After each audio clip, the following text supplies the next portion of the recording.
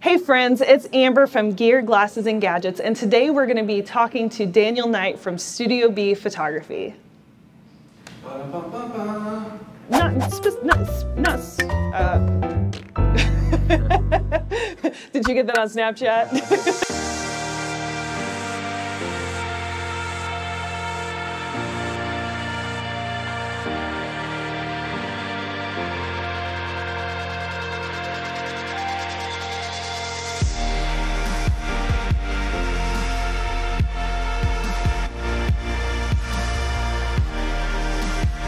Hey everyone, this is Daniel Knight from Studio B Photography. He is a local photographer in the Evansville area and I'm going to let him tell you a little bit about himself.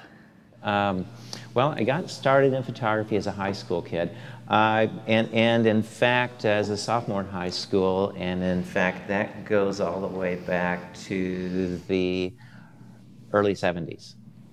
And uh, had some great opportunities there, had an art teacher that said, hey, you do photography and I'll give you an art grade for it, and became immersed in photography completely at that point. Um, and it was like, um, it was like uh, right after I graduated from high school, I got an opportunity to work at a local camera store.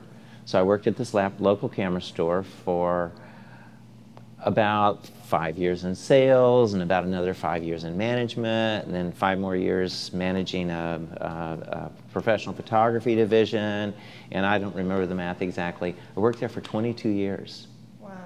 And I got an opportunity to move forward and become a professional photographer and that's what I did. And I did that in 1995.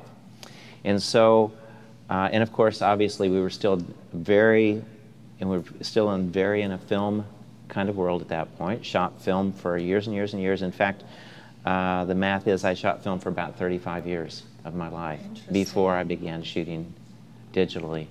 Um, and slipped into digital uh, very gradually as a business, which I'm really grateful for because unlike uh, a lot of studios that were figuring out what to do and moving toward digital photography, uh, somehow we managed to do it without turning out a bunch of crummy photography yeah. because there was that time when digital wasn't yeah, it wasn't quite great, but people were saying, "Hey, wow, look at this! It's digital," and you're going, "Yeah, it looks like digital." you know. right. So, so um, anyway, um, did that. Um, the success, business was very successful. We actually operated out of our home for seven years, uh, and 14 years ago, built this studio, and uh, which pulled us into an entirely, it, it, really raised the bar for, for our business uh, and it really opened a lot of doors for us. And uh, it was a big thing, but it was a good thing. You know, sure. it was really walking out on a limb when we did that. Um, early on, as soon as I started, I had been shooting, uh, uh, at that point, I had been shooting Canon uh, 35 millimeter SLRs, Canon EOS 1s, um, and uh, is that what we called them? Yeah, it was an EOS 1. Um, and uh, then I guess it was uh, in the late, it was like 1999 or something like that, I think, that we bought our first uh, Canon digital SLRs. And until a couple of years ago, that's what we, we had been shooting. Very interesting. Now, backing up just slightly, um, what type of photography were you doing whenever you branched into your own company? Is that did it start out as Studio B or? It started out it, it is uh, yes, it did yeah. actually because I uh, I moved uh, away from uh, a, a, job uh, to self-employment. Uh, thank goodness, goodness, my wife is an RN and she was able to go to work for a while and just kind of help support us a little bit. And as it turns out, in that particular time frame, my brother, my older brother, had a photography studio. And he used his name for his business name, and therefore it wouldn't, simply wasn't cool for me to use my name and my business name. It would be, it was confusing enough, it would only have made it more confusing. So we had to come up with a name. We had thought at one point that we might actually convert our old barn into a studio and that we might call it Studio B kind of became a nickname as we talked and planned, you know. And so suddenly when it was kind of time to name it, it was just like, it was kind of named already. Cool. And what type of photography were you doing then? I was doing people. People. Mm -hmm. Interesting. Yeah, a lot of wedding work, especially in, in the beginning. Um, high school seniors, family portraits. Uh, in a lot of ways, not a lot different than what I do now. Interesting. So you're mm-hmm. still doing all of those. What is, what mm-hmm. is your main focus or specialty currently? High school seniors uh, are certainly one of the big things that I do. Uh, we do, again, we do a lot of general portraiture, uh, which means that it could be anything from uh, a family or a couple uh, to, uh, I just had, just got an email yesterday from someone that wants to come out and do an author portrait for a book jacket, that kind of thing. So it's people, you know, if it's people, that's pretty much what I do. Let's talk about what we were talking about earlier about how um, beyond the gear, what what is it about photography, um, photographing people that you like, and what type of skills do you need?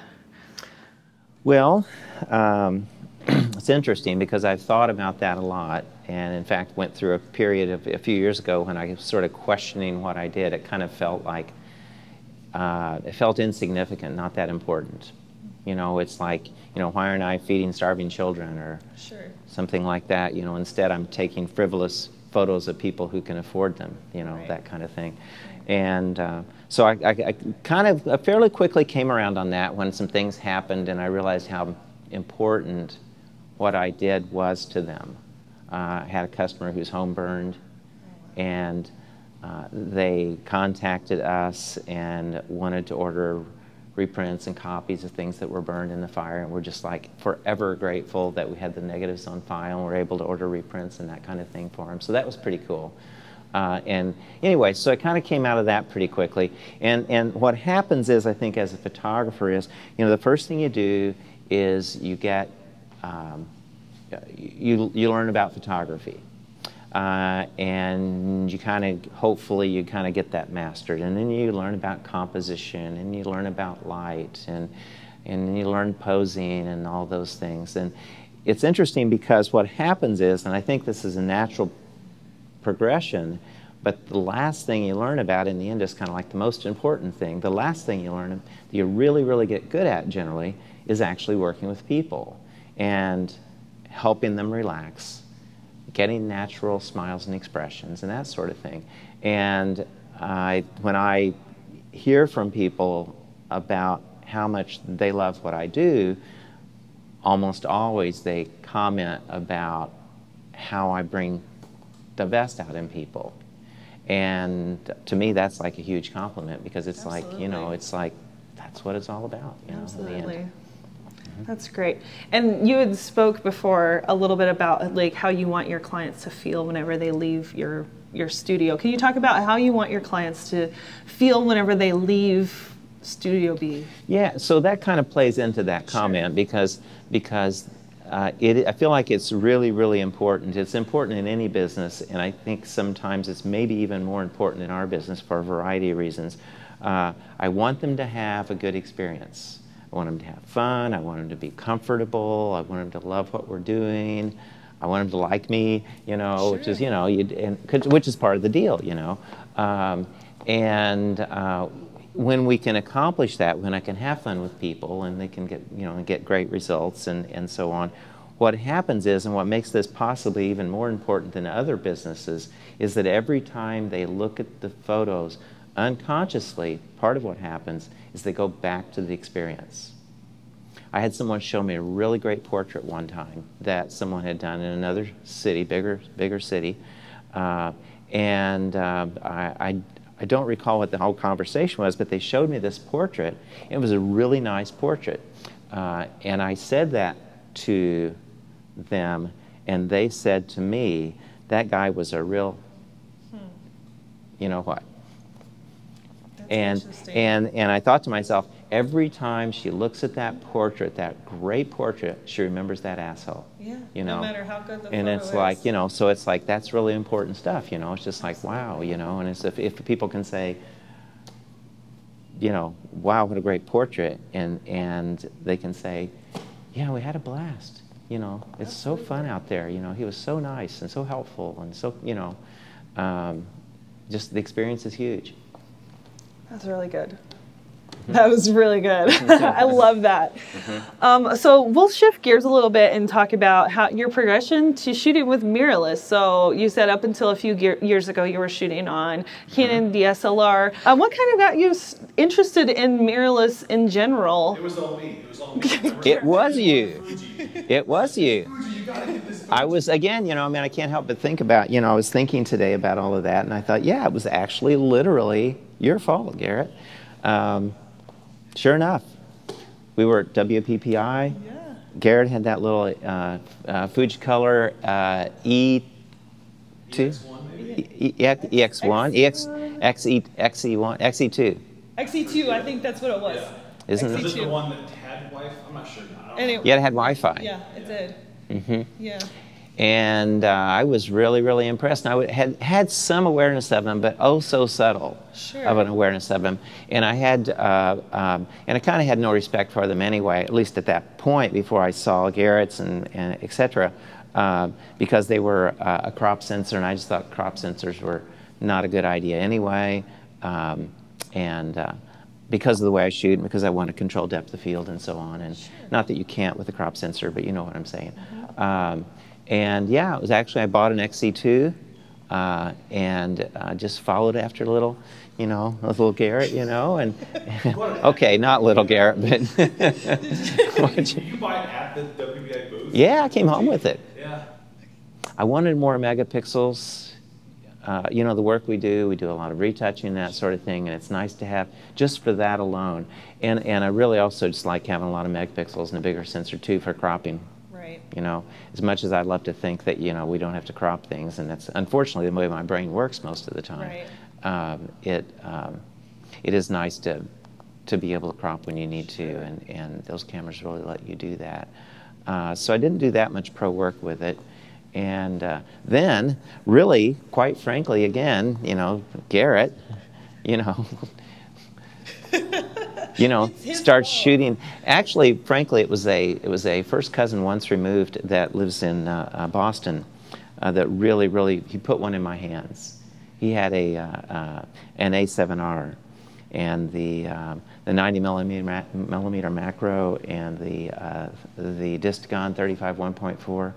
And uh, I had a, I was literally up at my cousin's house and we're hanging out and you know he says hey check this out you know? And he's a video guy by the way. Interesting. you know so so check that out uh, and i was really impressed. In fact i had him bring it down to the studio um, because one of the questions i had one of the concerns i had was using it in the studio because of the live view and so on. And it was funny because we had to like figure our way through the menus to, because he'd never even shot it though. He had no reason to. He's a video guy, you know. But uh, so we had to kind of fight our way through the menus and figure out how to do it and all that. And um, and then I was like, you know, I was on a mission from God at that point. You know, I was like, sell the Fuji stuff, you know, you know. And I still have a lot of respect for them. I just think that. Um, I still feel like for people like myself, the Sony's a better choice. Sure, absolutely. And so by that point, you were done with uh, DSLRs in general? Yeah, it's interesting because I have, I still have several DSLRs, and uh, uh, I'm I'm ready to sell one more anytime. Uh, but um, uh, I, you know, they're still around, and I still have several Canon lenses that I use with the Metabones adapter Right. on the Sony, uh, and that works generally great. Whenever you switched to mirrorless, what type of hurdles did you have to go through, and what tips can you give people that uh, might make their transition a little bit easier? Wow. How about, let me tell you why I like mirrorless. Sure, absolutely. Because it's interesting. Um,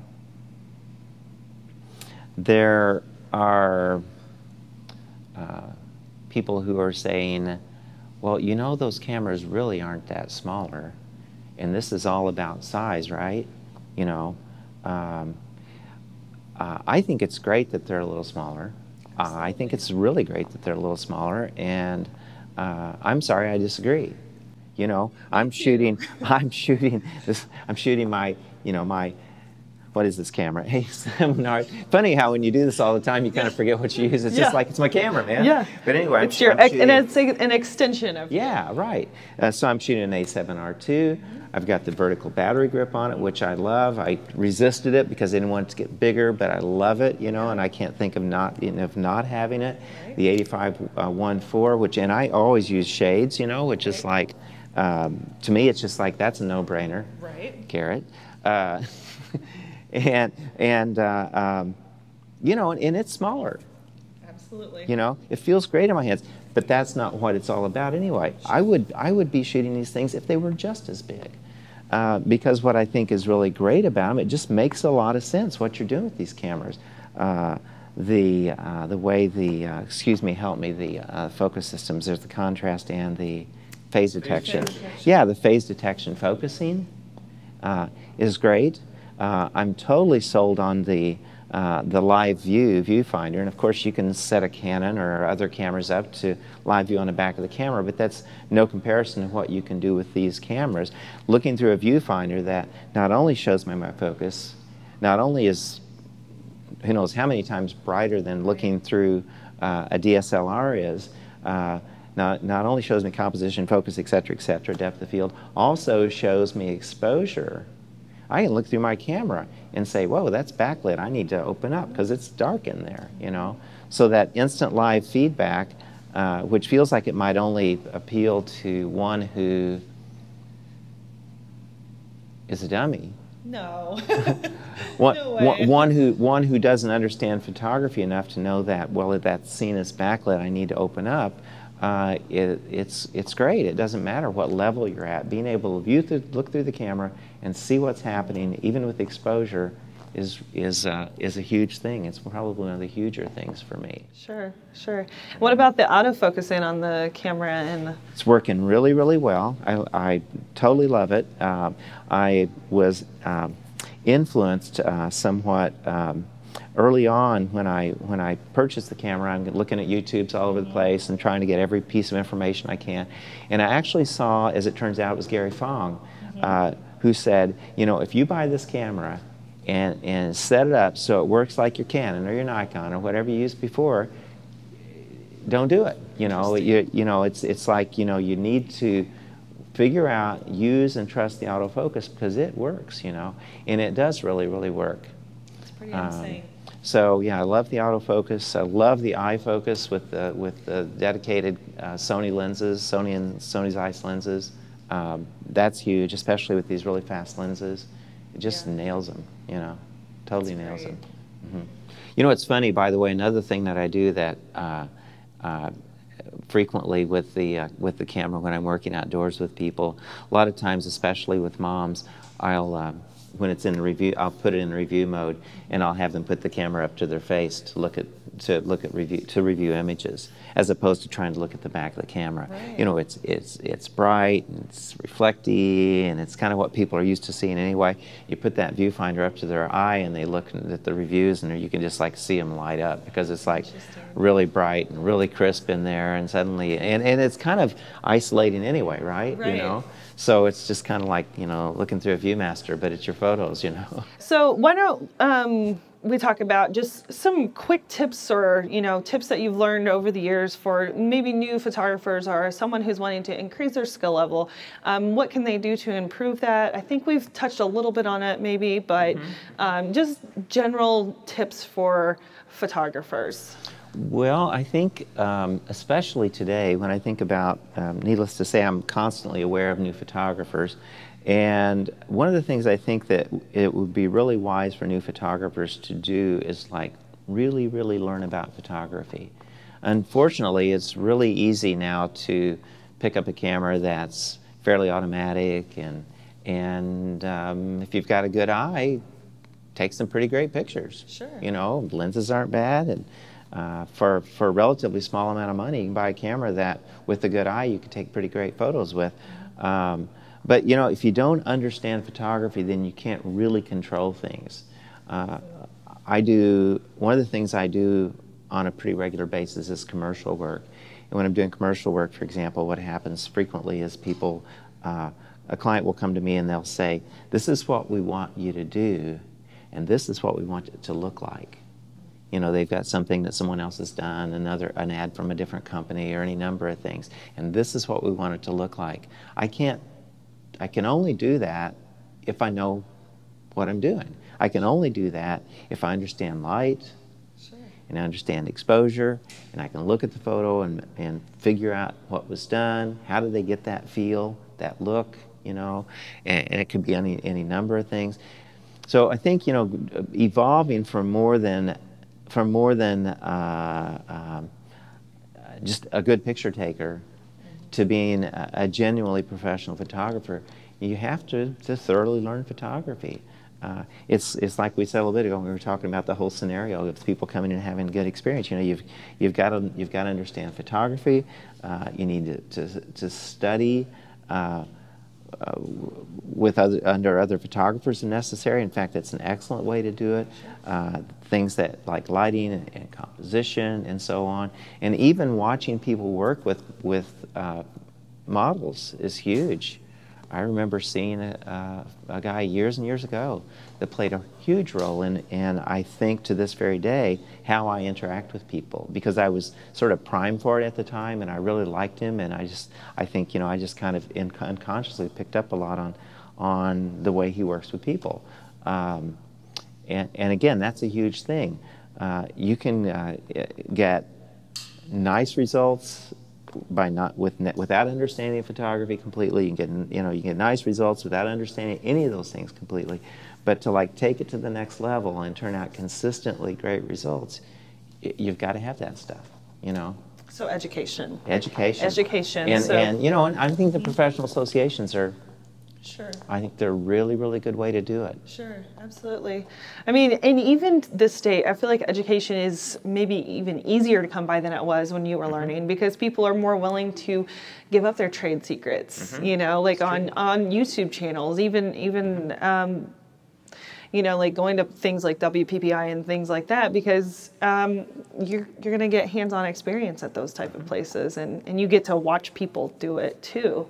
So just education Right. Learn I, learn your yep, craft. Yep, yep, learn it. Yeah. Mm-hmm. That's that's very profound right. because a lot of people think that it's easy. Uh, two two other things you know to keep in mind too. One one would be again, and we mentioned this briefly, but I think shadowing with a genuinely professional photographer is a really good thing. Even if you can, if, even if you can't get paid to be their assistant, if you can just shadow with somebody that's really good, you can learn a lot. You really pay close attention to what's going on. Uh, that's, that's a big deal. And I think the other thing, too, is that although you need good gear, you also don't want to get too immersed in, in gear right. and, and thinking that you know uh, that next lens is going to turn you into right. a way better photographer you know yeah. because uh, i'm as guilty as the next for being a bit of a toy boy, but yeah. you know, but sure. you know, but but at the same time, I, I, I, clearly I understand that picking up that next new lens isn't going to cause people right. to make my phone ring.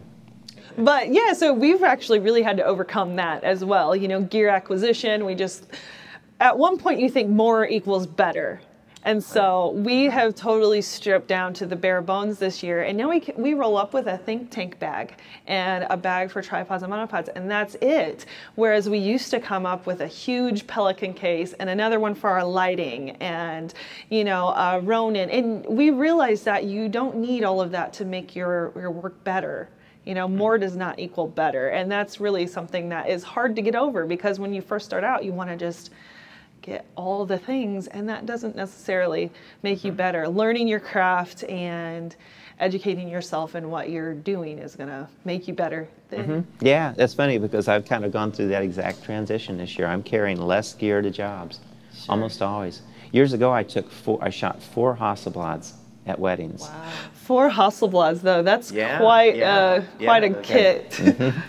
Yeah, and in those days I was doing weddings. I would always shoot solo. It was nuts, you know. I was like, you know, come home and sleep for 24 hours. yeah. Yeah.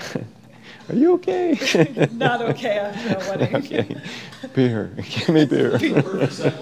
Yes. So mm-hmm. we want to know what's in your bag. So should we break it down to like what's in your bag for a senior shoot? Let's say maybe maybe these people want to know like what's in your gear case kit for a senior shoot. It's pretty light, really. When I do seniors, uh, these days it's rare that I do, uh, I shoot with anything except uh, the 85 millimeter 1.4, uh, which is my favorite.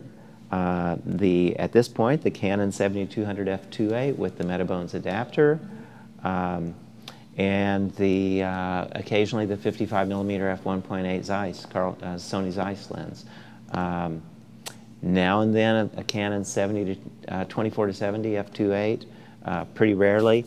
Now and then, and in fact today, as it turns out, the um, uh, 21 millimeter f2.8 uh, Zeiss Loxia lens, Okay. um, which is like also like one of my newest acquisitions, and I really really love it. It's it's it's a it's a sweet it's a sweet one, you know. with the Sony, it's easy. Again, it's like we were talking about. It's so easy to fanboy or to just gush over these because you know everything from being able to shoot at those a lower ISO in the same environment because you know it's capturing light better. Um, it's just totally transformed our way of shooting and stuff. So you know the 1600 ISO on that is going to look better than the 1600 ISO on Right. another system let's say that so it's it's really just made our lives so much easier and it sounds like it's made your life a little bit easier too Oh, absolutely, for Sure. sure. I love it. what is your favorite feature about shooting mirrorless It would have to be the live viewfinder. Sure.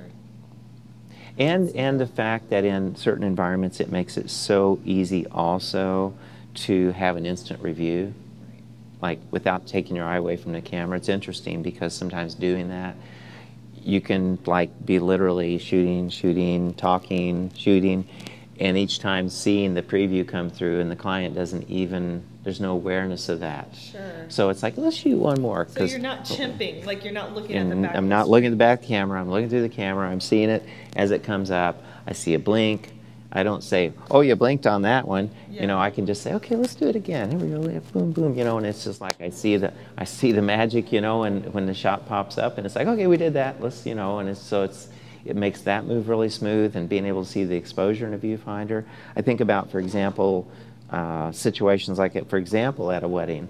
In a wedding environment, um, uh, I might be doing one of the things we still do is formals. People want those photos, you know, their family and their Yeah. wedding party and that sort of stuff.